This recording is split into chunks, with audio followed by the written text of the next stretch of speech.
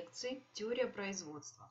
Лектор Авдеева Евгения Александровна, кандидат экономических наук, доцент кафедры теоретической экономики Кубанский государственный университет. На какой бы ступени исторического развития ни находилось человеческое общество, люди, чтобы жить, должны иметь пищу, одежду, жилищные и другие материальные блага. Необходимые человеку средства существования должны быть произведены. Их изготовление совершается в процессе производства. Производство представляет собой процесс воздействия человека на вещество природы с целью создания материальных благ и услуг, необходимых для развития общества. Исторически оно прошло длительный путь развития от изготовления простейших продуктов до производства сложнейших технических систем, гибких переналаживаемых комплексов, вычислительных машин. В процессе производства не только меняется способ и вид изготовления благ и услуг, но происходит нравственное совершенствование самого человека. Различают материальное и нематериальное производство. Первое включает отрасли по производству материальных благ или услуг. Нематериальное производство связано с производством нематериальных услуг и созданием духовных ценностей. Это два взаимосвязанных вида производства, причем одно без другого существовать не может. Соотношение между ними предполагает гармоничное развитие общества. В процессе производства в исходной основе формируется экономический рост, который в масштабах общенационального развития превращается в один из главных макроэкономических показателей. Таким образом, в любом обществе производство служит в конечном счете удовлетворению потребностей. Как мы знаем, потребности – это нужда в чем-либо, необходимом для поддержания жизнедеятельности отдельного человека, либо социальной группы или общества в целом. Потребности выступают внутренним импульсом активной производственной деятельности. Именно они предопределяют направленность развития производства. Первоначально в первобытном обществе почти вся жизнедеятельность человека сводилась к развитию материального производства, без чего невозможно было поддержать крайне низкий уровень потребления материальных благ. На дальнейших ступенях развития человеческого общества и производства появляются интеллектуальные потребности, растет объем и усложняется структура потребления, повышается уровень жизни людей. В условиях совершенного высокоразвитого индустриального производства человечество получило возможность удовлетворения в значительной степени всех сложившихся видов потребностей – материальных, духовных и социальных. Улучшение жизни населения проявляется прежде всего в более полном удовлетворении материальных потребностей в продуктах питания, одежде и обуви, жилье, условиях труда, и других жизненно необходимых благах.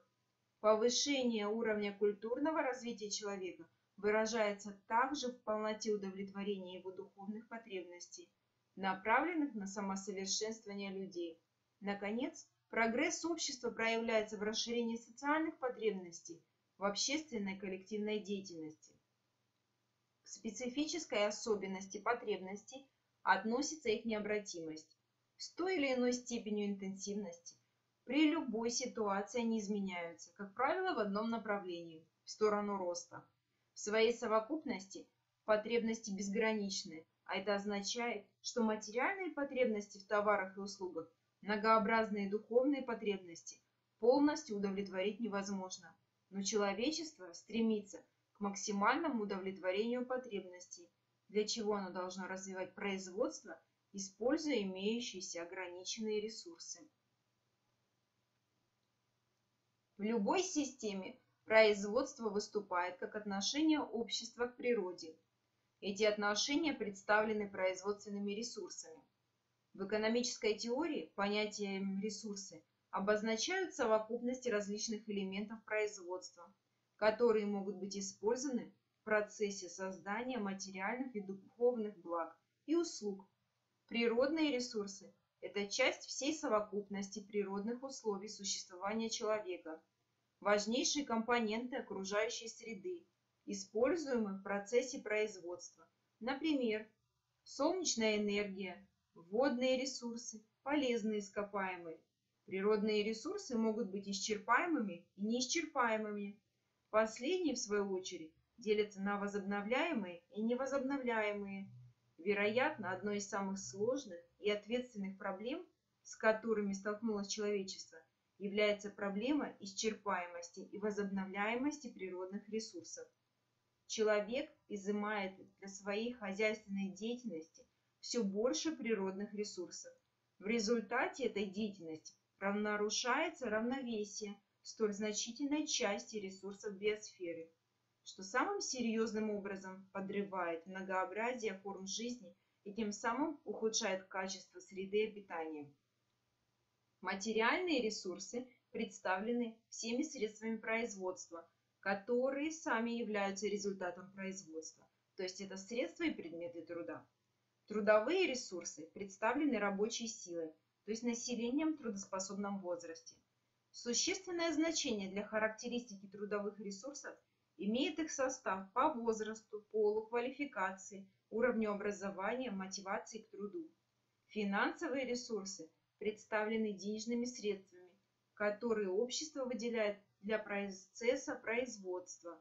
Их источниками являются инвестиционные средства, ценные бумаги, налоги, денежные сбережения, государственные займы. Информационные ресурсы – это данные, необходимые для функционирования автоматизированного производства и управления им с помощью компьютерной техники. Природные и материальные трудовые ресурсы необходимы и присущи любому обществу. В рыночной экономике к ним прибавляются финансовые ресурсы. Современная постиндустриальная рыночная экономика не может обойтись без информационных ресурсов, которые приобретают в период научно-технической революции важнейшую роль. В экономической теории различают абсолютную и относительную ограниченность ресурсов. Под абсолютной ограниченностью понимается недостаточность производственных ресурсов для одновременного удовлетворения всех потребностей членов общества. Но если сузить круг потребностей, то в этом случае абсолютная ограниченность потребностей становится относительной, так как для ограниченного круга потребностей ресурсы относительно безграничны. Абсолютная ограниченность в основном характерна для природных и трудовых ресурсов, относительная для материальных, финансовых, информационных ресурсов. Процесс производства одновременно предполагает и процесс потребления. Учитывая связь производства и потребления, можно сказать, что продукт есть результат динамики и взаимопроникновения этих двух стадий. Если рассматривать экономику как результат единства производства и потребления, то может сложиться впечатление, что производство и потребление – какой-то замкнутый в себе процесс, не связанный с природой и ее запасами. Но это не так.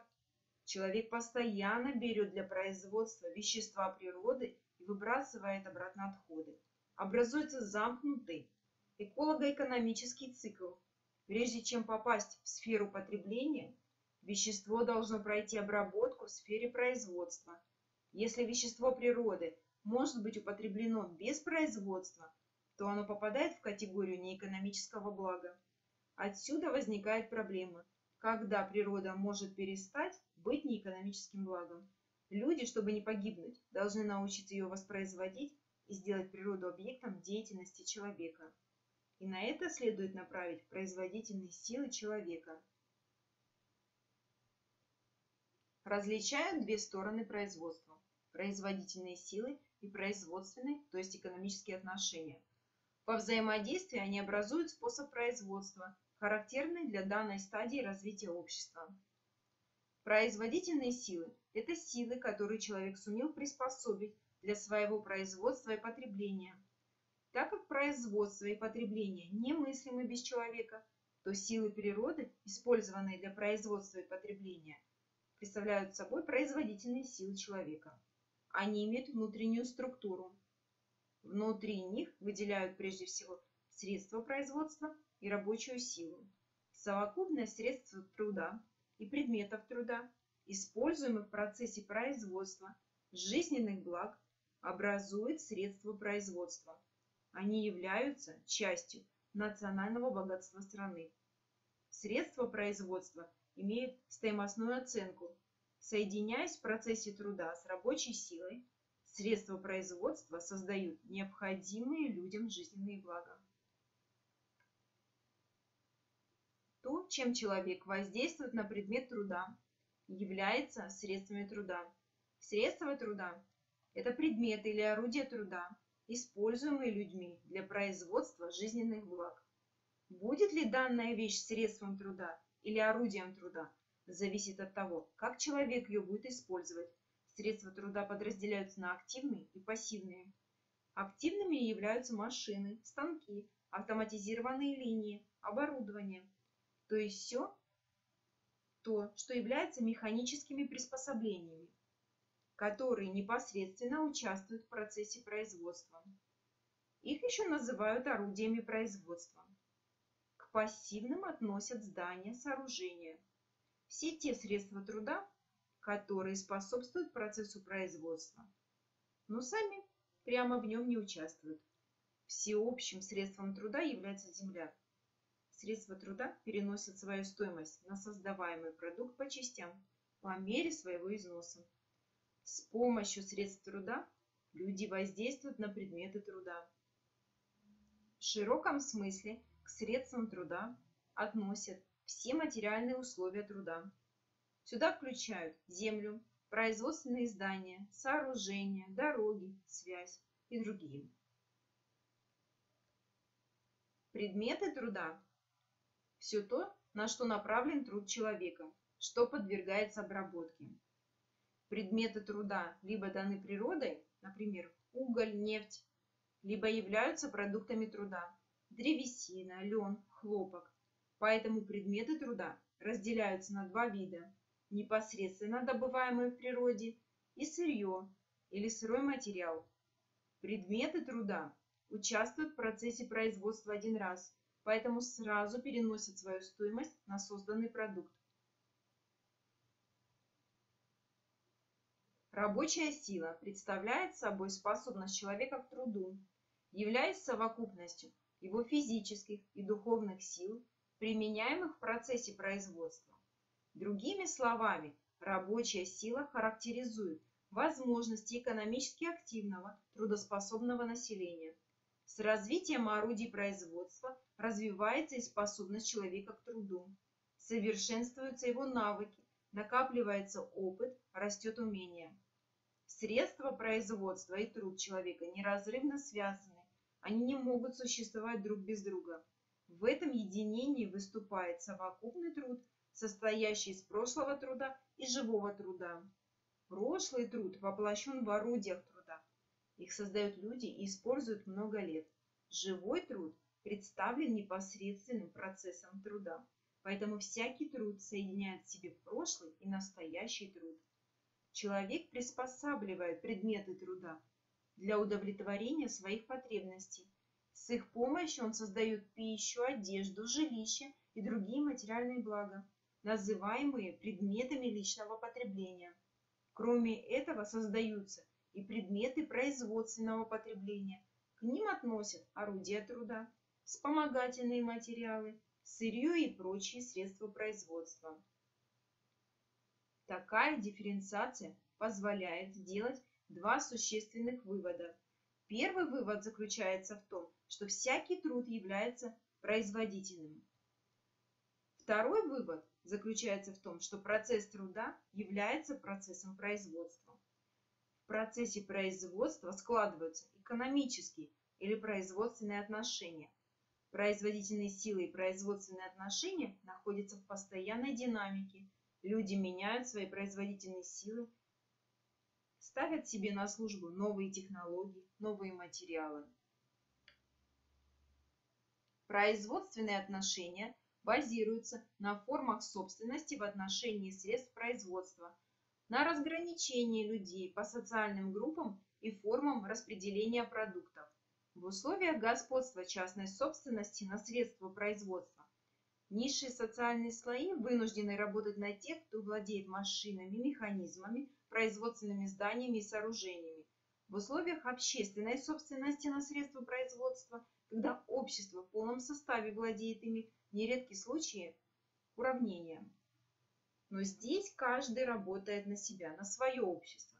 История знает обе формы собственности. Считается, что и наилучшим из возможных вариантов является умелое их сочетание. Отношения распределения определяются отношениями производства. Распределение связывает производство и потребление. Существует личное и производственное потребление.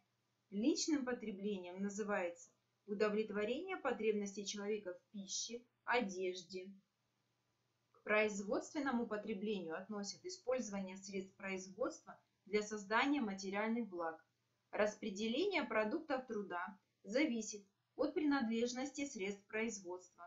Если средства производства находятся в частной собственности, то распределение продуктов труда удовлетворяет лишь потребности этих собственников и в отдельной части наемного персонала. Если же средства производства сосредоточены в руках общества, то и продукты труда распределяются в интересах всего общества. Отношения обмена также определяются характером производства. В зависимости от отношений производства обмен может быть планомерным либо стихийным. Помимо того, он может быть связан с прямым распределением а также иметь формы товарных операций. Отношения потребления являются одной из важнейших форм экономических отношений. Потребление не существует вне производства и наоборот. Если даже представить себе обратное, то теряет всякий смысл как сам процесс производства, так как вне потребления нет производства, так и процесс потребления, поскольку без производства нечего потреблять.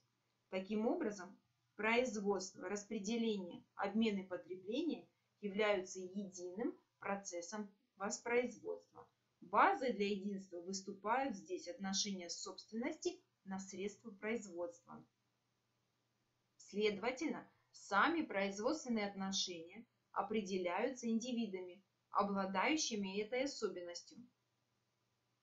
В последующем эти отношения распространяются на всю систему отношений в сферах производства, распределения, обмена и потребления, определяя их характер. Более того, производственные отношения формируют социальную структуру всего общества, разделяя или объединяя его. Характер и уровень развития производительных сил определяют экономические взаимоотношения людей. Общественной формой развития производительных сил выступают производственные отношения. Так что производственные отношения всегда существуют во взаимосвязи с производительными силами.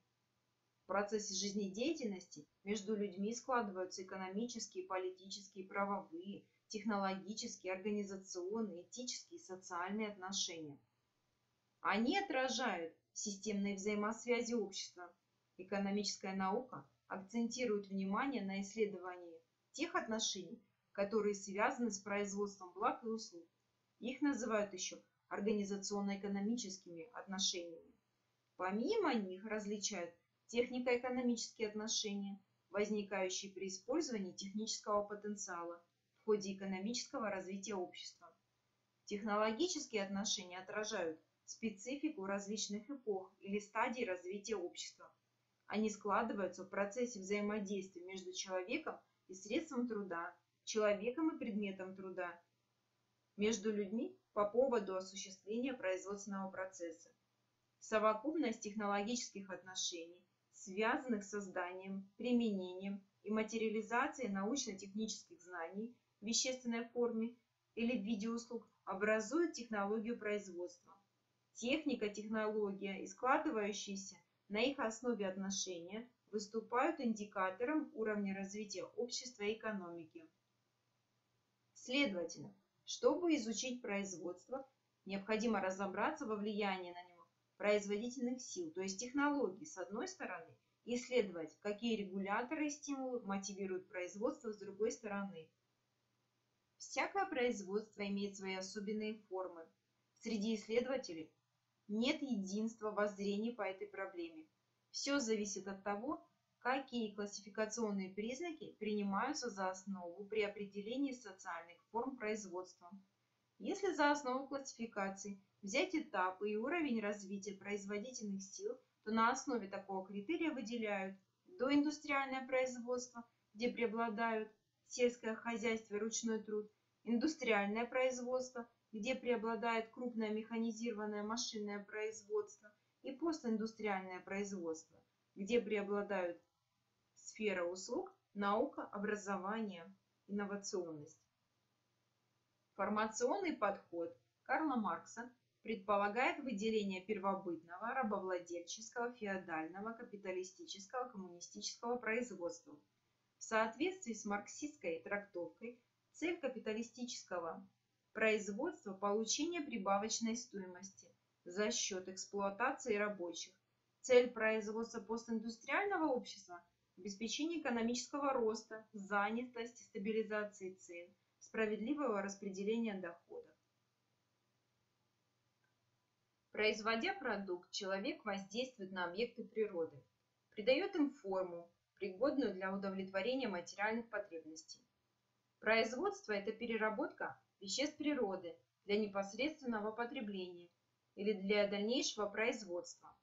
Такая функция производства сохраняется при любой его социальной форме. Важно выяснить, какие факторы участвуют в изготовлении благ. Под фактором производства понимается особо важный элемент или объект, который оказывает решающее воздействие на возможность и результативность производства. Для производства каждого продукта существует свой набор факторов, поэтому возникает потребность их классифицировать, объединить в большие группы. Марксистская теория в качестве факторов выделяет рабочую силу, предмет труда и средства труда, подразделяя их на две группы – личный фактор производства и вещественный фактор производства. В качестве личного фактора производства всегда рассматривается рабочая сила то есть совокупность физических и интеллектуальных способностей человека к труду. В качестве вещественного фактора принимаются в совокупности все средства производства. Личный и вещественный факторы образуют сложную систему, эффективность которой определяется технологией и организацией производства. При этом технология выражает взаимодействие между главными факторами производства. Она предполагает использование разнообразных методов обработки, изменение свойств, формы, состояния предмета труда. Организация производства обеспечивает согласованное функционирование всех факторов производства, их пропорциональное количественное соотношение, взаимозаменяемость. Маржиналистская теория традиционно выделяет четыре группы факторов – землю, труд, капитал, предпринимательскую деятельность. В чем же различие подхода в классификации факторов производства? Марксизм исходит из того, что факторы производства, как экономическая категория, определяют социальную направленность производства. Уже в исходной основе процесса производства формируется классовый состав общества необходимость борьбы классов за справедливость. Маржинализм рассматривает факторы производства как общие, технико-экономические элементы, без которых процесс производства немыслим. Маржинализм под капиталом понимает средства и предметы труда, а природные условия выделяет в особый фонд. Марксизм объединяет природные условия средства труда и предметы труда в единый вещественный фактор. Если же речь идет об особых природных условиях в производстве, то их специфика учитывается через ренту. По мнению марксистов, это уже особый отдел экономической науки. Маржиналисты признают предпринимательскую деятельность как фактор производства, а марксисты отрицают ее. В целом различие обусловлено классовым подходом к анализу общественного производства. Приведенные классификации не являются устойчивыми. В экономической теории постиндустриального общества в классификации факторов производства выделяют информационные экономические факторы. Оба они тесно связаны с достижениями современной науки, которая сама по себе тоже выступает в качестве самостоятельного фактора, так как оказывает решающее воздействие на уровень эффективности производства, процесс подготовки, квалифицированной рабочей силы и повышение уровня и возможностей человеческого капитала. Информация обеспечивает систематизацию знаний, материализованных в систему механизмов, машин, оборудования, моделей менеджмента и маркетинга. Все большее значение в современном мире занимает экологический фактор производства, который выступает либо в качестве импульса экономического роста, либо как ограничение его возможностей в связи с вредностью, загазованностью, загрязнением. Земля рассматривается как естественный фактор. Она не является результатом человеческой деятельности. Этой группе факторов производства относят природные богатства, залежи ископаемых, пахотные земли, леса. Говоря о земле, прежде всего следует иметь в виду ее использование в сельском хозяйстве. Для сельскохозяйственного работника земля – это главное средство производства, которое обладает рядом специфических черт. Первая черта заключается в том, что земля должна обладать плодородием, которое может быть естественным, определяемым ее механическими и химическими свойствами, созданными самой природой, и искусственным, когда в результате деятельности человека изменяется состав почвы.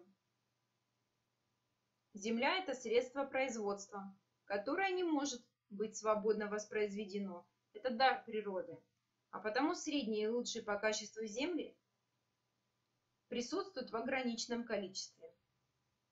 Воздействие человека на плодородие Земли не может быть безграничным. Рано или поздно наступает время, когда дополнительная отдача от дополнительно вложенного труда и капитала начинает падать, то есть вступает в силу закон убывающей отдачи. Капитал как фактор производства выступает в виде совокупности благ, используемых в производстве товаров и услуг. Это инструменты, машины, помещения, средства связи. Их техническое состояние постоянно совершенствуется и оказывает решающее влияние на общую результативность производственного процесса и его эффективную целесообразность.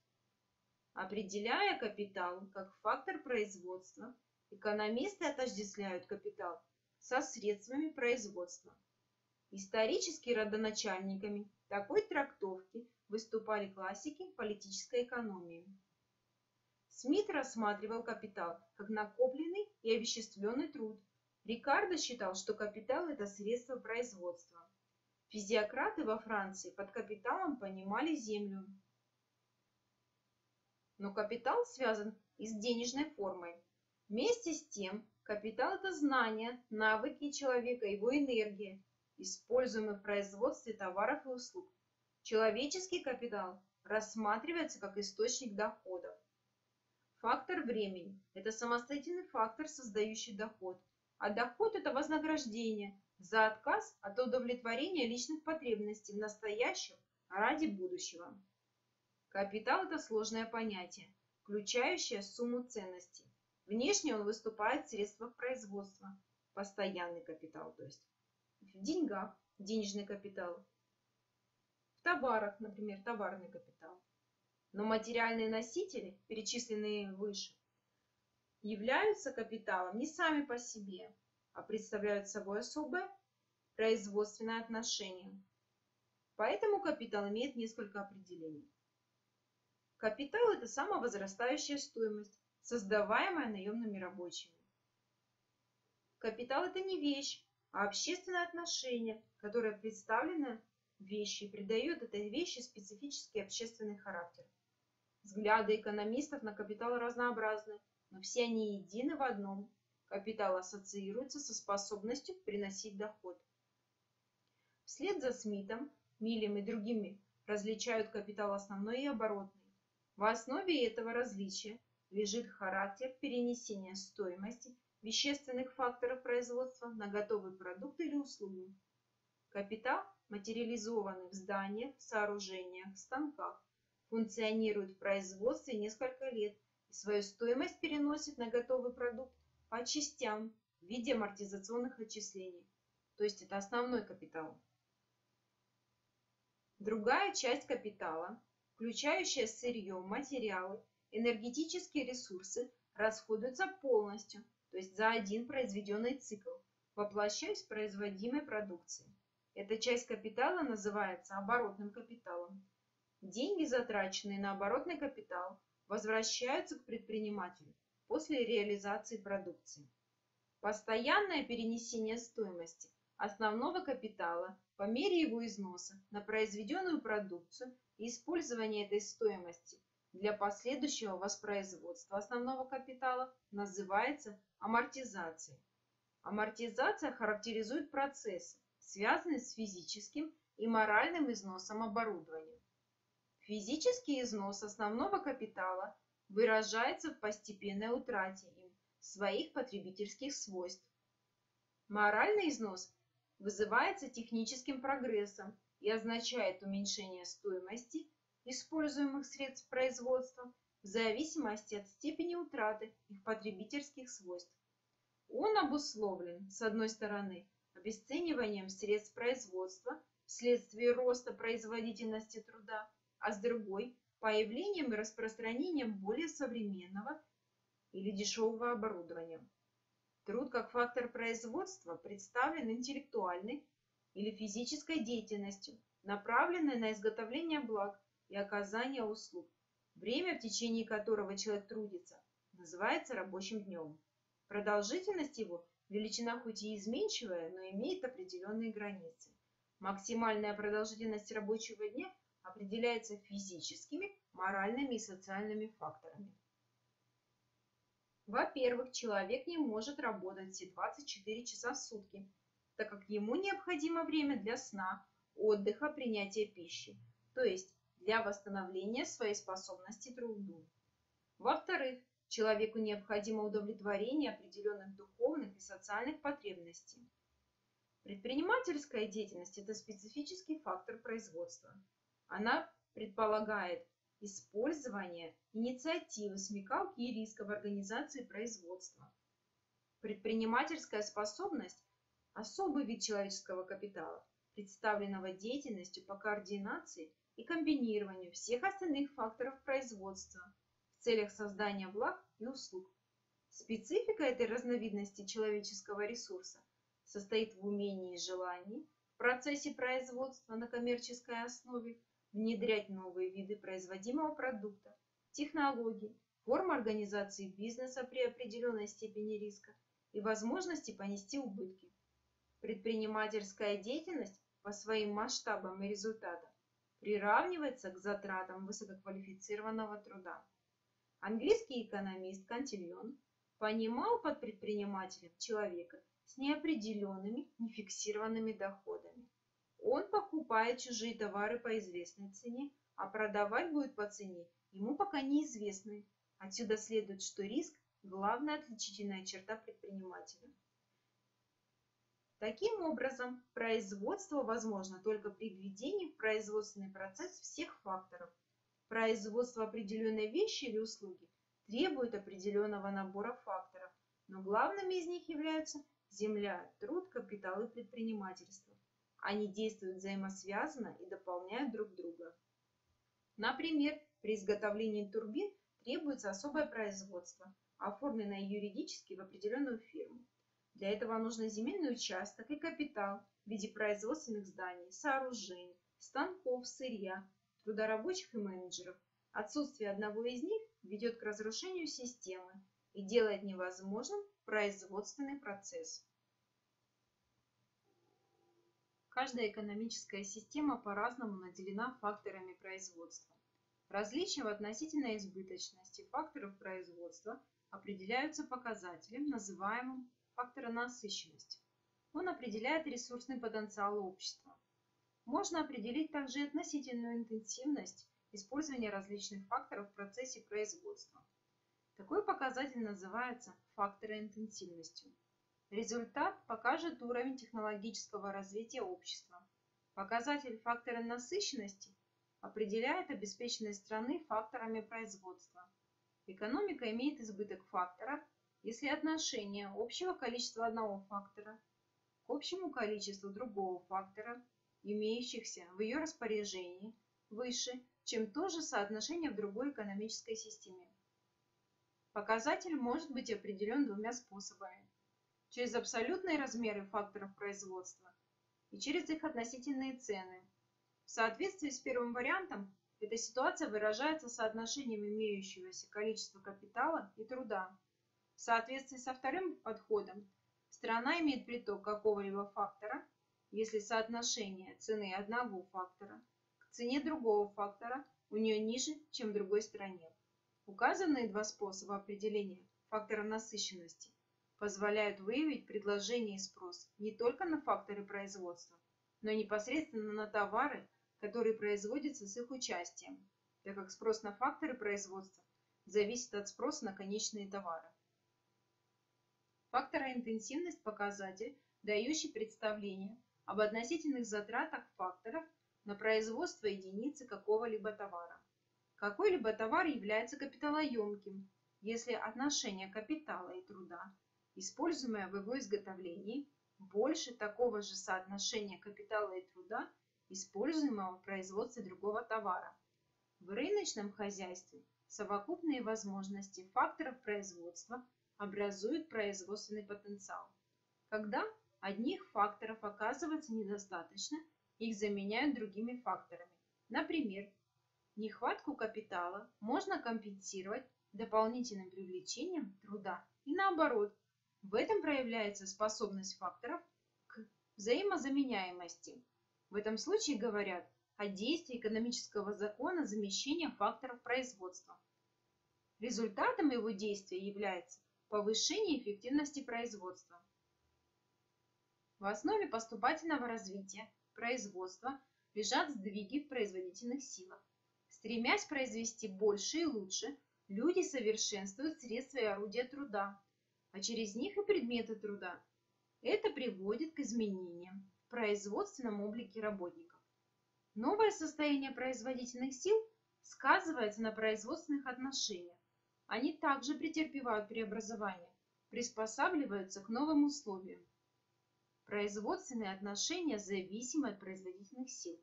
Если они соответствуют последним, то открывают простор для их развития и стало быть простор для развития производства. Если же они устаревают, то превращаются в тормоз хозяйственной деятельности. Производство носит общественный характер. Люди трудятся, организуют производственную деятельность сообща. Работники, так или иначе связаны, в работе друг с другом, взаимно зависимы, действуют на базе широкого разделения труда. Существует естественное разделение труда, то есть по полу и возрасту людей. И общественное разделение труда, вызванное развитием производства. общественное разделение труда находится в постоянном развитии. За счет этого растут производственные возможности. С позиции масштабности выделяют три уровня – общее, частное и единичное. Общее разделение труда, когда подразумевают взаимодействие крупных сфер и отраслей деятельности, то есть производственную и непроизводственную сферы, промышленность, сельское хозяйство, строительство, транспорт и различные виды труда. То есть физический, умственный, квалифицированный, неквалифицированный, ручной и машины. Частное – это распределение деятельности внутри крупных сфер, между более узкими отраслями и подотраслями, то есть добывающая, обрабатывающая промышленность, растеневодство и животноводство. Единичное разделение труда внутри предприятий и участков – Существуют также территориальное, международное, профессиональное и другие виды разделения труда. Производство нуждается в инфраструктуре. Под инфраструктурой, как правило, понимают комплекс производственных и непроизводственных отраслей, обеспечивающих условия воспроизводства. К инфраструктуре относят обслуживающую сферу, те отрасли и организации, которые создают общие условия для производственной деятельности – а также производственную инфраструктуру, куда входят дороги, связь, водопроводы, энергетические сооружения и другие учреждения. Факторы производства обладают взаимозаменяемостью. Она обусловлена разнообразными потребительскими свойствами продуктов. В результате можно производство продукта или блага при использовании различных факторов в разнообразных сочетаниях и пропорциях. Такая взаимозаменяемость и пропорциональная количественная переменность типичны для современного производства. От изготовления химических продуктов до строительства зданий. Взаимозаменяемость факторов обусловлена не только спецификой потребностей и конструктивных особенностей изделия, но и главным образом ограниченностью ресурсов с одной стороны и эффективностью их использования с другой. Предприниматель выбирает такую технологию производства, при которой дефицитный или сравнительно дорогой фактор производства используется в меньшей мере. Именно этим обстоятельством общество обязано появлению высотных зданий при ограниченности свободной земли, синтетических заменителей и так далее. Предпринимательство таким образом предполагает использование различных комбинаций факторов производства, руководствуясь потребностями неизбежного снижения издержек производства. Оно исчисляется путем сопоставления рыночной цены и затрат на изготовление определенного продукта. Продукт – это результат функционирования производства.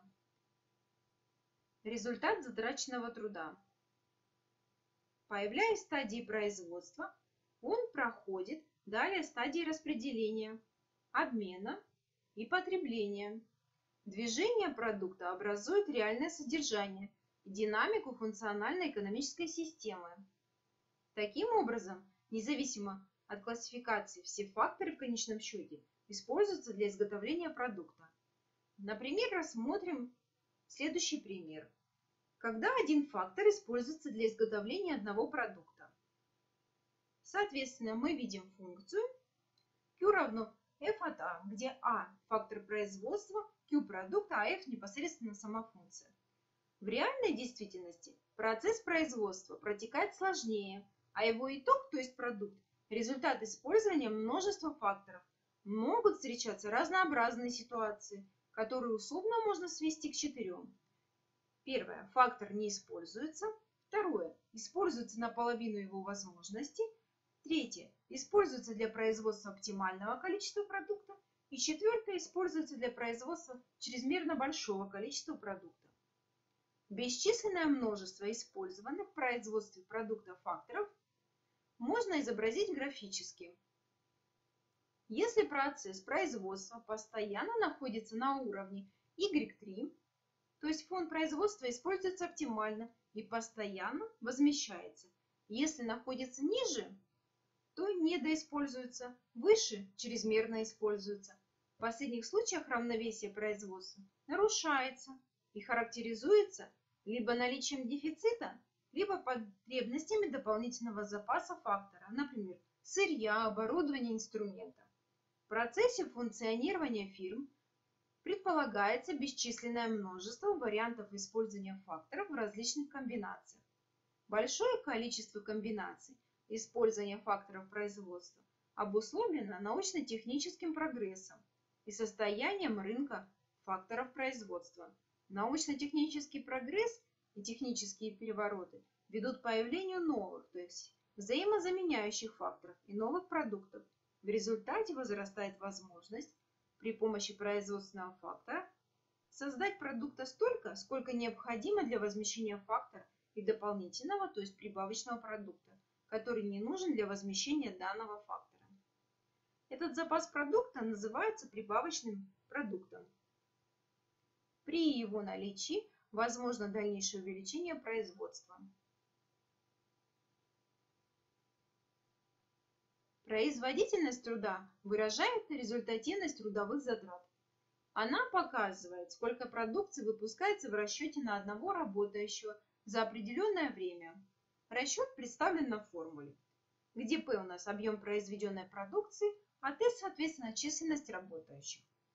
Предположим, на предприятии, где производственный персонал составляет 300 человек, за сутки произведено 16,5 тысяч чугунных болванок. Тогда суточная производительность труда работников предприятия составит 55 болванок. Производительность труда связана с конкретной стороной труда и выражает конкретный, то есть живой труд. В свою очередь абстрактный труд производит в единицу времени одинаковую стоимость. Например, если за 8 часов рабочего времени один рабочий производит 100 пар обуви, а второй 200 пар, то стоимость этих партий будет одинаковой, составляя 8 часов труда. Между тем производительность труда кажется различной. У второго рабочего она выше в два раза, так как мы будем сравнивать 100 пар обуви и 200 пар обуви, в то время как стоимость пары обуви при этом понижается. Экономическая история человечества связана с поступательным ростом производительности труда, протекающего на почве совершенствования производства. Этот объективный процесс нашел отражение в действии экономического закона повышающейся производительности труда. Предприятия преследуют экономические интересы и выгоды, стремятся использовать все факторы и резервы роста производительности труда. Главные средства – научно-технический прогресс, использование достижений науки и техники. Вместе с тем, существенный результат удается получить за счет материальной заинтересованности в работе, повышения образованности и квалификации работников, прогрессивных форм организации производства, укрепления трудовой дисциплины, лучшего использования природных условий. В западной экономической литературе уделяют внимание закону убывающей производительности труда. Закон убывающей предельной производительности, то есть убывающей отдачи, утверждает, что с ростом использования какого-либо производственного фактора при неизменности остальных рано или поздно достигается такая точка, в которой дополнительное применение переменного фактора ведет к снижению относительного и далее абсолютного объема выпуска продукции. Его суть состоит в том, что при неизменности прочих ресурсов последовательное увеличение только численности работников будет давать уменьшающийся прирост продукции. Неизбежен такой момент, когда прирост вообще прекратится, а затем начнет снижаться. Существуют предельные затраты труда, по достижению которых предприниматель вынужден прекратить дополнительный наем работников. Закон убывающей предельной производительности носит относительный характер. Во-первых, он применим на краткосрочном отрезке времени. Во-вторых, технический прогресс постоянно расширяет его границы. Первые порции труда, присоединяемые к заданному объему капитала, обеспечивают рост выпуска, опережающий рост количества вовлекаемого производства труда.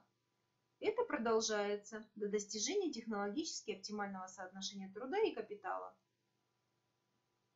Далее рост выпуска начинает отставать от роста количества применяемого труда. Интенсивность труда определяется затратами труда в единицу времени, а производительность труда – количеством продуктов, произведенных в единицу времени. Более интенсивный труд создает в равный отрезок времени и большую стоимость. Например, если рост производства обуви будет связан с повышением интенсивности труда в два раза, то стоимость одной пары обуви останется прежней, так как 8 часов труда фактически равны 16 часам труда. Предприниматель имеет возможность использовать различные комбинации факторов производства. Критерии отбора комбинирования факторов производства – наименьшие издержки производства. Как практически решается задача выбора наилучшего сочетания факторов производства? Для этого, конечно же, сравнивают рыночную цену каждого фактора – а также предельный продукт, который производится с помощью этого фактора. Предельный продукт – это прирост физического объема продукта при росте этого фактора на минимальную величину – одну единицу. Использование для анализа только прироста продукта усиливает наглядность доказательств, ведь остальная часть произведенного продукта остается неизменной. Поэтому сравним изменения цен на факторы производства – их предельные продукты при условии, что происходит рост каждого фактора на единицу. Предельный продукт Это продукт, у которого увеличится на добавленный фактор по его цене. Сравнение этих величин заставляет предпринимателя определять принципы организации производства. Можно сказать, что образуется конкуренция в использовании факторов производства, на основе которой осуществляется их замещение. В результате такой конкуренции образуется равновесие факторов производства, то есть их более или менее устойчивое сочетание. Важнейшая характеристика производства – это эффективность. В самом общем виде эффективность можно определить как отношение между результатом и затратами на этот результат. Если предприятие осуществляет свою деятельность с минимальными затратами всех факторов производства, то принято говорить об эффективности производства данного хозяйственного субъекта. Другими словами, что чем меньше объем затрат и чем больше величина, в которой воплощен результат хозяйствования, тем выше эффективность. Эффективность производства в большей степени зависит от технологического выбора производства. Технология выражает взаимодействие между основными факторами производства, а также открываемые наукой и практикой способы воздействия человека на предметы труда, основанные на механических, физических и химических свойствах средств производства. Постигая все неизвестные ранее свойства вещей, люди овладевают секретами изготовления новых видов продукции, применяют новые прогрессивные технологии, используют качественно новые материалы. Это, в свою очередь, предъявляет новые требования к рабочей силе, квалификации работников. Одновременно изменяется организация производства, обеспечивающая единство, слаженность функционирования всех его факторов, взаимодействия участвующих в нем людей. Углубляется разделение труда, отраслевая дифференциация общественного производства, усложняется его структура, получают развитие такие формы организации, как специализация и кооперация, происходит концентрация производства. Налаживание более гибкой и сложной системы организации отношений становится все более важным фактором развития производства. Продукт в определенной форме характеризует результат производства, то есть его эффект. Соизмерение результатов производства с затратами общественного труда на их получение характеризует эффективность производства. То есть она показывает отношение массы созданных и признанных обществом потребительских благ совокупным затратам живого и общественного труда или факторов, израсходованных в процессе производства. То есть эффективность – это важнейшая характеристика производства. Именно рост эффективности, получение большего результата при меньших затратах характеризует экономический прогресс общества в условиях ограниченности ресурсов. Технический прогресс является важным двигателем экономического роста.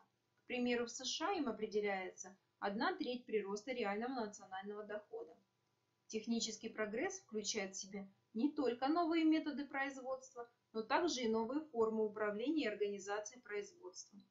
Под техническим прогрессом подразумевается открытие новых знаний, позволяющих по-новому комбинировать данные ресурсы с целью выпуска конечного продукта. На практике технический прогресс и капиталовложение, то есть инвестиции, тесно взаимосвязаны.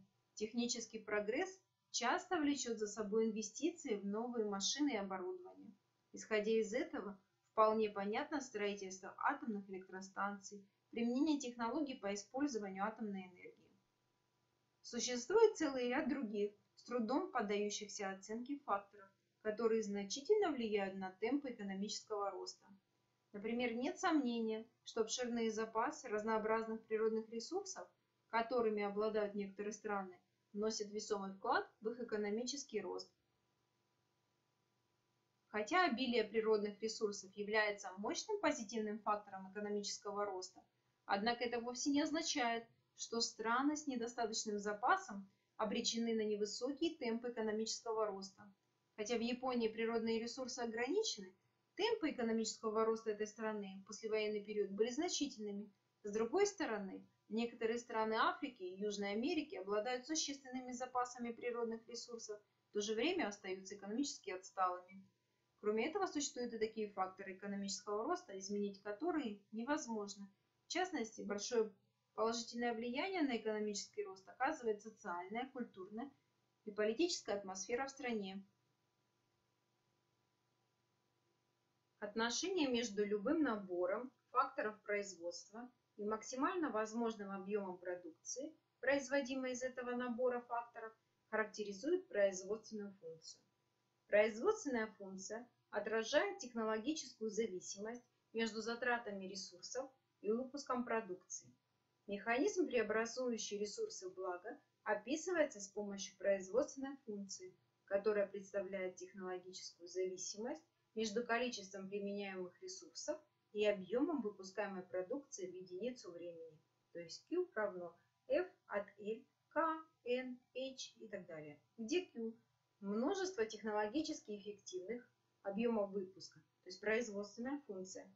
L – это труд, K – капитал, N – природные ресурсы, H – человеческий капитал. Труд – это наемные работники, сотрудники фирмы, которых она нанимает на рынке труда. Ценой труда является заработная плата. Капитал – это средства производства, задействованные в процессе превращения ресурсов в конечные блага. Оборудование, сооружение, здание. Плата за капитал – это процентная ставка. Процентная ставка считается в экономической теории платой за капитал, потому что она показывает альтернативную стоимость денег, затраченных на покупку капитала. Природные ресурсы – это земля, водные ресурсы лесные хозяйства, полезные ископаемые. Человеческий капитал – это профессиональные знания и умения, которыми обладает работник. Для упрощения анализа все факторы, кроме величины используемого труда, принимаются фиксированными. Тогда производственная функция может быть записана в виде Q равно F от L. График ее представлен на слайде. Точки, лежащие на производственной функции, показывают технологически эффективные, рациональные с точки зрения производителя способы производства продукта с помощью переменного фактора L, фиксированных объемов остальных факторов и фиксированного объема технологий. Точки, лежащие под производственной функцией, технологически неэффективны. Точки, лежащие над производственной функцией, недостижимы при заданном количестве остальных факторов и уровней технологии.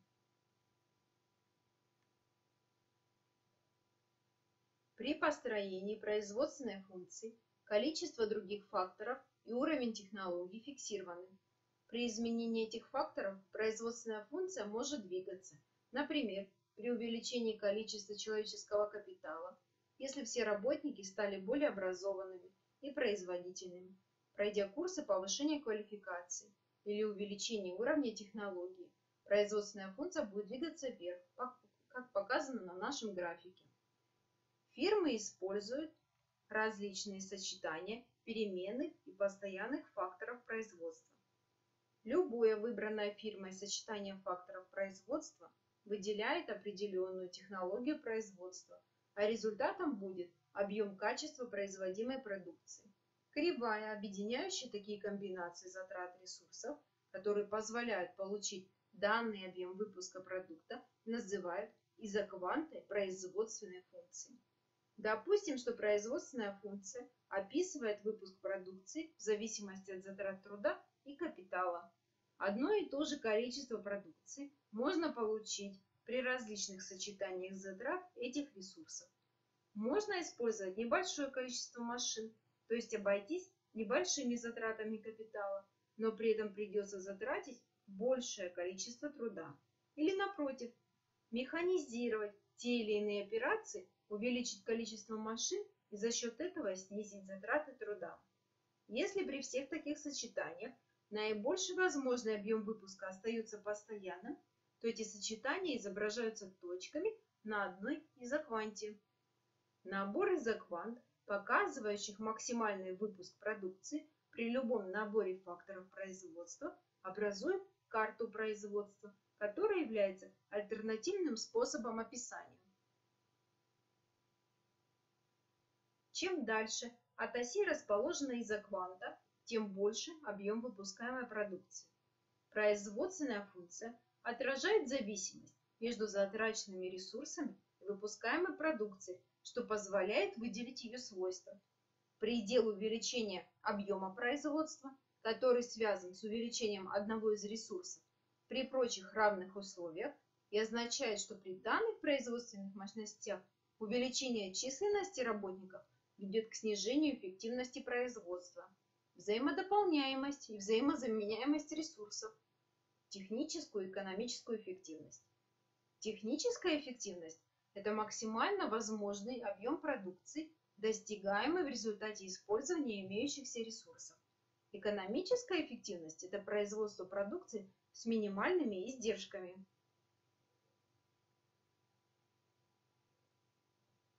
Производстве не используются технически неэффективные способы создания благ. Если оба способа технически эффективны, то выбор производства зависит от экономической эффективности. Для дифференцирования оценки влияния каждого вида факторов производства на динамику выпуска продукции проводят анализ по временным промежуткам разной протяженности. Критерием выделения таких промежутков служит скорость, при которой вовлекаем в производство ресурсы меняют свое количество и качество. Не изменяются затраты на ресурсы в течение данного промежутка времени. Можно формировать постоянные факторы производства. А те затраты, которые в течение этого промежутка времени меняются, формируют переменные факторы производства. Временные промежутки, в течение которых хотя бы один фактор производства остаются неизменны, называют краткосрочным периодом деятельности фирмы. Временные промежутки, в течение которых все факторы производства перемены, называются долгосрочным периодом деятельности фирмы. Эти периоды означают разные условия деятельности фирмы, закономерность эффективности производства формируется отдельно для каждого из этих периодов. Поэтому производственная функция представляет математическую модель, характеризующую зависимость объема выпускаемой продукции от объема трудовых и материальных затрат. Модель может быть построена как для отдельной фирмы и отрасли, так и для всей национальной экономики. Американские экономисты Дуглас и Сулоу на основе статистических исследований производства зерна за 100 лет определили вклад таких факторов производства, как труд и капитал, в общий прирост выпуска продукции. Они обнаружили, что увеличение затрат труда на 1% обеспечивает 3 четвертых прироста выпущенной продукции, а увеличение затрат капитала на 1% дает возможность получить 1 четвертую прироста выпущенной продукции. Поскольку эти выводы относились ко всему обществу, то указанные индексы, соответственно, 0,75 и 0,25, назвали агрегатными, а зависимость между выпуском продукции и факторами производства вошла в жизнь под названием агрегатной функции производства Дугласа и Солоу. Таким образом, на основе выводов Дугласа и Солоу были сформулированы так называемые рецепты экономического развития. Вложение в человеческий капитал, труд, дают больший эффект в увеличении производства, чем рост средств производства. Хотя производственные функции различных для разных видов производства, все не обладают общими свойствами. Во-первых, существует предел для увеличения объема производства, который может быть достигнут увеличением затрат одного ресурса при прочих равных условиях. Это предполагает, что в фирме при данном количестве станков и производственных помещений существует предел увеличения производства посредством привлечения большего количества рабочих, то есть прирост объема производства от числа роста численности занятых будет приближаться к нулю. Во-вторых, существует определенная взаимная заменяемость факторов производства. При этом взаимозаменяемость факторов производства происходит без сокращения объема производства. Например, эффективен труд работников, если они обеспечены производительным инструментом. Однако даже при отсутствии такого инструмента объем может быть увеличен при росте численности занятых. В данном случае происходит замена одного ресурса другим. При изучении производственной функции необходимо рассматривать эффективность производства, которая зависит от многих факторов, но в том числе от масштаба производства. Масштаб производства задается производственной функцией. Если фирма принимает решение об одновременном и пропорциональном увеличении количества всех переменных факторов, то имеет место изменение масштаба производства. Предположим, что фирма, имеющая первоначальный объем выпуска продукции Q1, принимает решение об увеличении масштаба производства V на раз. В этом случае заданная производственная функция примет вид Q2 равно F от N1 и от NK, где Q2 объем выпуска товаров после изменения масштабов производства. Эффект масштаба – это соотношение между изменением объема используемых ресурсов и изменением соответствующих производственных результатов. Общеизвестно, чем больше масштаба производства, тем ниже средняя себестоимость единицы продукции и выше прибыль при прочих равных условиях. Эффект масштаба может быть положительным или отрицательным, если при увеличении объемов производства и размеров предприятия издержки предприятия уменьшаются, то эффект масштаба положительный, и наоборот, если при увеличении размеров и объемов производства увеличиваются издержки предприятия, то эффект масштаба отрицательный. Тот или иной эффект масштаба объясняется специфическими факторами и их определенной комбинацией. Положительный эффект масштаба зависит от снижения величины постоянных издержек, приходящихся на единицу продукции в начале процесса расширения производства, от более высокого уровня специализации производства в целом, от возможности использования более производительного оборудования, от более полной утилизации отходов, выпуска новой продукции вторичного сырья. Отрицательный эффект масштаба зависит от роста переменных издержек, приходящихся на единицу продукции, от объективных сложностей управления крупномасштабным производством, в особенности, если это многоотраслевой комплекс производств. Для характеристики эффекта масштаба используется также понятие отдачи от масштаба, которое выражает реакцию объема производства продукции на пропорциональное изменение количества всех факторов производства. Отдачу от масштаба можно измерить путем сравнения процентного изменения в выпуске продукции с процентным изменением в количестве всех применяемых факторов. Различают три положения отдачи от масштаба. Возрастающая отдача от масштаба – положение, при котором пропорциональное увеличение всех факторов производства приводит к большему увеличению объемов выпуска продукции, а значит средние издержки производства снижаются. Если предположить, что все факторы производства увеличились в два раза, а объем выпуска продукта увеличился в три раза, в этом случае можно говорить о следующих причинах возрастающей отдачи от масштабов. Первое – это повышение производительности факторов вследствие специализации и разделения труда при росте масштабов производства. А второе – это увеличение масштаба производства иногда и не требует пропорционального увеличения всех факторов производства. Постоянная отдача от масштаба – это изменение количества всех факторов производства, которое вызывает пропорциональное изменение объема выпуска продукта. Следовательно, и средние издержки на производство единицы продукции тоже остаются неизменными. Убывающая отдача от масштаба – это ситуация, при которой сбалансированный рост объема всех факторов производства приводит к меньшему росту объема выпуска продукта, соответственно возрастают и средние издержки производства. Иначе говоря, объем выпускаемой продукции увеличивается в меньшей степени, чем затраты факторов производства. Западные экономисты считают, что в настоящее время в большинстве видов производственной деятельности достигается постоянная отдача от масштаба. Во многих отраслях экономики возрастающая отдача от масштаба как стратегическая задача несомненно имеет привлекательность, однако с некоторого момента она может смениться убывающей отдачей, если не будет преодолен процесс увеличения числа гигантских фирм, что затрудняет управление и контроль, несмотря на то, что технология производства стимулирует создание таких фирм.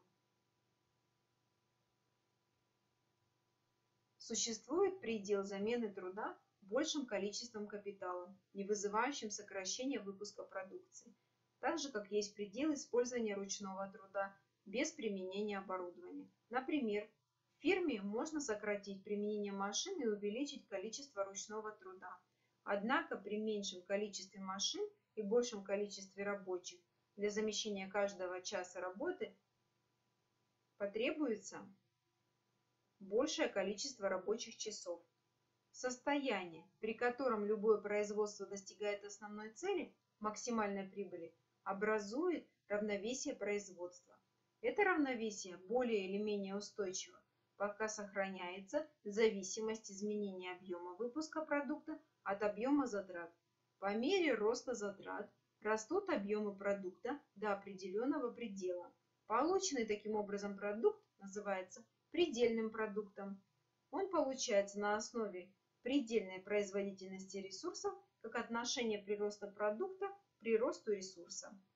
Если затраты увеличивать бесконечно малыми приращениями, то предельный продукт будет выражать предельную производительность ресурса. Сопоставляя предельную производительность ресурса и его рыночную цену, предприятия, как организационная форма общественного производства, решает вопрос о целесообразности дополнительных затрат. Однако, если не обеспечивается динамичный технический прогресс, каждая дополнительная затрата единицы труда становится все менее результативной. Происходит снижение предельной производительности труда и предельного продукта. Это наблюдается в том случае, когда к имеющемуся количеству машин и механизмов добавляется все больше затрат труда снижается техническая вооруженность труда, производство достигает технического предела, а общий рост продукта прекращается. По мере приближения к техническому пределу возрастают затраты, связанные с дальнейшим расширением производства. В экономической теории этот закон известен как закон убывающей производительности. При увеличении затрат одного вида и постоянной величине прочих затрат наступает период, когда дополнительное количество затрат этого вида будет приносить уменьшающийся вклад промышленный совокупный продукт. Смотрим график. Допустим, имеется производственная функция y равно f от f1, f2 и fn. Предположим, что в производственном процессе, описываемой этой функции, все факторы постоянны, кроме f1. Применение f1 постепенно увеличивается в этом производстве и является переменным фактором. Нужно установить зависимость между F1 и выпускаемым продуктом. Поскольку для производства данного продукта необходимы все факторы, то при нулевом значении F1 произведенный продукт тоже будет равен нулю. По мере использования в производстве последовательных частей фактора F1 производство продукта, начав с нуля, тоже последовательно увеличивается. В этом процессе роста продукта представляют интерес три его характеристики. Общий продукт, средний продукт и предельный продукт. Общий продукт – это общее увеличение продукта по мере роста количества переменного фактора F1. Если величину общего продукта разделить на число единиц употребленного переменного фактора, получим средний продукт. Если вычислить приращение продукта за счет увеличения соответствующей единицы фактора, то получим предельный продукт. Предположим теперь, что переменный фактор делится не на фиксированные единицы, а бесконечно. Тогда средний продукт этого бесконечно делимого фактора будет его средней производительностью, а предельный продукт – предельной производительностью фактора производства. Исследуем динамику общего и среднего и предельного продукта. На графике по оси x откладываем значение переменного фактора f1, по оси y значение общего продукта. Общий продукт изменяется по мере увеличения количества переменного фактора в производстве. Рассмотрим кривую общего продукта до точки B. На отрезке ОБ кривая общего продукта имеет вогнутость, обращенную вверх. Что из этого следует? Чтобы ответить на этот вопрос, обозначим на отрезке ОБ произвольную точку А. В точке А значение общего продукта равно ОМ, или, что то же самое отрезку, AP. Количество переменного фактора, используемого для производства продукции, в количестве AP равно OP. Если соединим точки O и A, то получим треугольник OAP. Один из этих углов этого треугольника обозначим как альфа. Отношение величин AP и OP представляет собой тангенс угла. Тангенс угла альфа равно отношению AP на OP. Следовательно, средний продукт соответствующей точки А равен тангенсу альфа. Вычислим теперь предельный продукт, предельную производительность переменного фактора f1 в точке А. Для этого надо найти бесконечно малое превращение продукта и вызывающее это превращение столь же бесконечно малое увеличение фактора f1. Для этого, как известно, следует найти производную функции общего продукта в точке А. Чтобы найти эту производную, проведем касательную функции точки А. Эта касательная пересекает ось x в точке N. Тем самым получаем треугольник ANP. В этом треугольнике NP превращение фактора F1 на некоторую величину. AP – превращение продукта, соответствующее этому превращению фактора. Соотнеся AP и NP, получаем прирост продукта на прирост фактора F1. Одновременно отношение AP и NP образует тангенс угла ANP, тангенс бета, то есть равного отношению AP на NP. Теперь можно до бесконечности сокращать величины AP и NP, приближая их к точке А. Величина тангенса бета не изменяется, следовательно, бесконечно малое увеличение продукта в точке А за счет бесконечно малого увеличения фактора F1 в точке А равно тангенсу бета. Итак, средний продукт фактора F1 равен тангенсу альфа, а предельный продукт тангенсу бета. Сравним между собой значения этих тангенсов на всем отрезке ОБ. Тангенс альфа меньше тангенса бета. Это значит, что на отрезке ОБ средний продукт фактора F1 меньше, чем предельный. А это в свою очередь означает, что каждая последующая порция фактора F1, вовлеченная в производство, дает большее превращение продукта, чем предшествующие порции.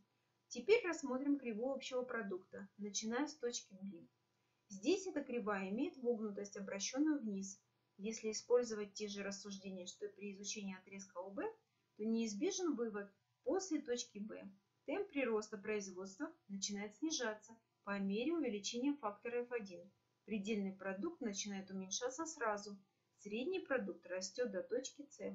В точке С растущий средний продукт и сокращающийся предельный сравниваются. После точки С средний продукт начинает уменьшаться, предельный продукт уменьшается и уменьшается быстрее, чем средний продукт. При этом общий продукт все еще увеличивается. Наконец, в точке D начинает сокращаться не только средний и предельный продукт, но и общий. Причем за точкой D предельный продукт не просто сокращается, а становится отрицательной величиной.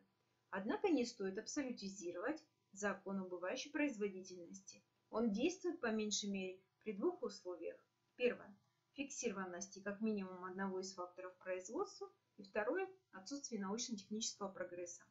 Таким образом, снижение производительности производственного ресурса вызывает уменьшение эффективности производства. Как известно, эффект растет по мере роста затрат и роста объема продукта в одинаковой пропорции. Но если рост выпуска продукции все больше сопровождается ростом затрат, а по стоимости они будут равны рыночной цене, то в этом случае снижается эффективность. Такое явление образует убывающую эффективность от расширения масштабов производства. Следовательно, производственная функция характеризуется постоянной эффективностью от расширения масштабов производства, если выпуск возрастает в той же пропорции, что и затраты. Рассмотрим решение задач. Задача номер один. Подсчитайте средний и предельный продукт фирмы, если известны следующие данные, представленные в таблице.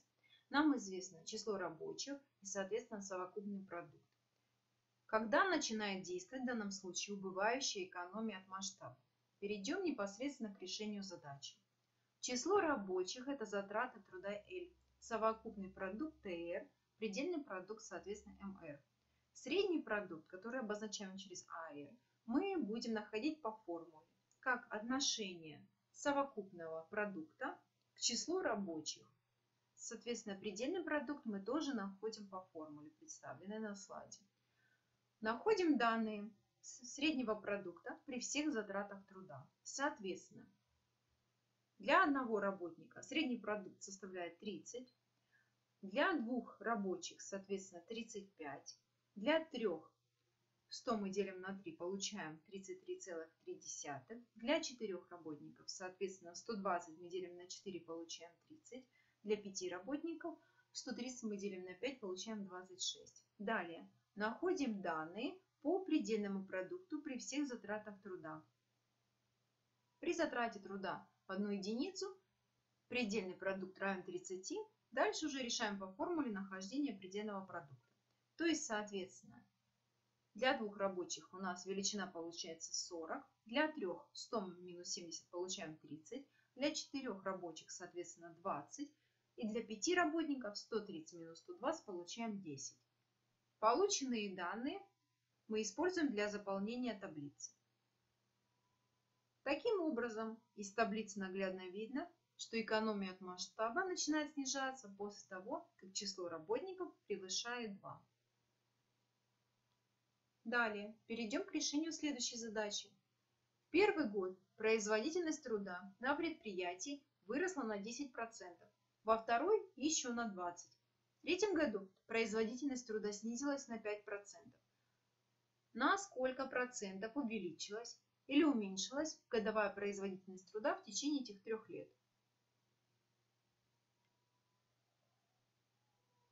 Для решения предложенной задаче будем использовать индексную методику. Темп прироста производительности труда равный 10% означает увеличение производительности труда в 1,1 раза. Если мы говорим о приросте производительности труда 20% это увеличение в 1,2 раза той производительности труда, которая за предыдущий год уже увеличилась в 1,1 раза. Снижение производительности труда на 5% соответствует индексу равному 0,95 или 95%. Таким образом, чтобы найти нам производительность труда, нам необходимо перемножить все полученные индексы. То есть, соответственно, 1,1 мы умножаем на 1,2, соответственно, и умножаем на 0,95.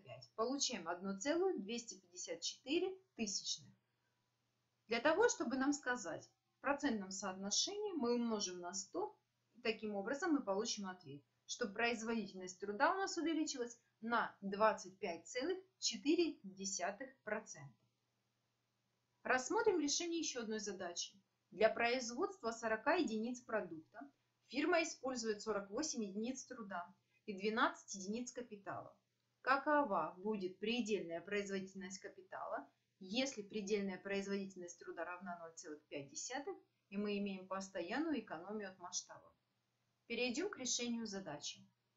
Предельная производительность капитала – это предельный продукт, полученный от использования дополнительной единицы капитала. Предельная производительность труда – это предельный продукт, полученный от использования дополнительной единицы труда.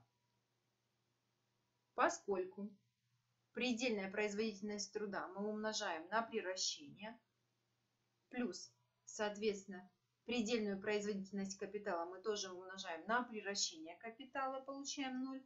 В связи с этим мы можем найти предельную производительность капитала. Подставляем исходные данные и получаем, соответственно, ответ равный 2.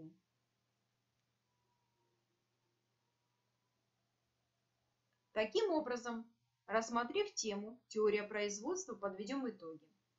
Производство представляет процесс воздействия человека на вещество природы с целью создания материальных благ и услуг, необходимых для развития общества. Различают материальное и нематериальное производство. Первое включает отрасли по производству материальных благ либо услуг. Нематериальное производство связано с производством или оказанием нематериальных услуг и созданием духовных ценностей. Различают две стороны производства – производительные силы и производственные отношения. Во взаимодействии они образуют способ производства, характерный для данной стадии развития общества. Для производства каждого продукта существует свой набор факторов. Марксистская теория в качестве факторов выделяет рабочую силу, предмет труда и средства труда, подразделяя их на две группы – личный фактор производства и вещественный фактор производства. В качестве личного фактора производства всегда рассматривается рабочая сила, то есть совокупность физических и интеллектуальных способностей человека к труду. В качестве вещественного фактора принимаются в совокупности все средства производства. Маржиналистская теория традиционно выделяет четыре группы факторов – землю, труд, капитал, предпринимательскую деятельность. В результате соединения факторов производства создаются продукты труда, совокупность материальных благ. Количественное отношение объема, полученного продукта к труду, затраченному на его изготовление, характеризует производительность труда. Закон убывающей предельной производительности или убывающей отдачи утверждает, что с ростом использования какого-либо производственного фактора при неизменности остальных рано или поздно достигается такая точка, в которой дополнительное применение переменного фактора ведет к снижению относительного и далее абсолютного объема выпуска продукции. Спасибо за внимание.